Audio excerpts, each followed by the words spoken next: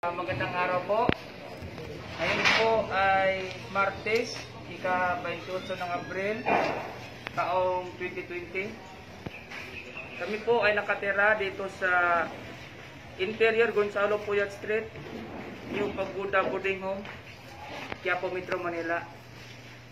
Kami po ay may bilang na 160 more or less na seafarers na na-stranded dito. Simula nung ipatupad ang quarantine noong March 15 hanggang ngayon, nasa 40 days na po mahigit na kami na namamalagi dito. Ah, kami po ay nanawagan sa ating mahal na gobyerno kay President Duterte, kay Senator Bungo, na sana po kami po ay makauwi na sa aming probinsya.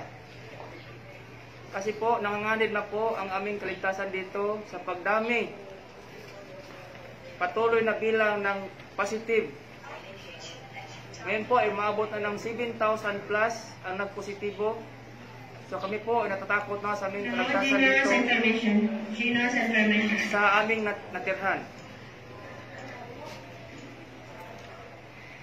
Ang problema rin namin dito ay ang pagkain.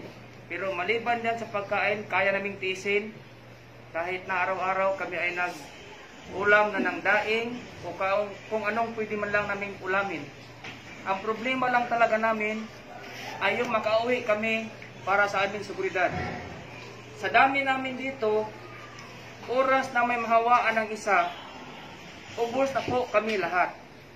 So kami po ay nanawagan, uulitin ko sa ating mahal na presidente ay, at kay Senator Bongo sa kanyang programa na Balik Probinsya Program.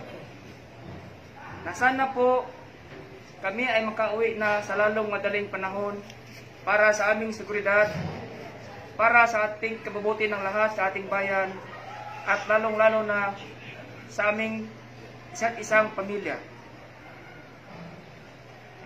Ulitin ko uli, sa lahat ng ibang sangay ng gobyerno na pwedeng makatulong sa amin, kami po ay nananawagan sa lahat na sana po kami ay matulungan sa aming problema na sana kami ay makauwi na.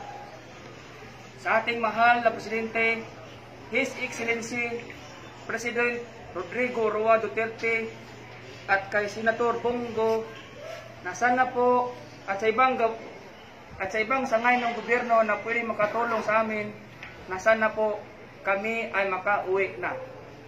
Kami ay nananawagan sa ating mahal na Mayor, Honorable Isko Moreno, Senator Bongo, sa kanyang programang Balik Probinsya Program, at sa ating mahal na Presidente, His Excellency President Rodrigo Roa Duterte, at sa iba pang sangay ng gobyerno na pwede makatulong sa amin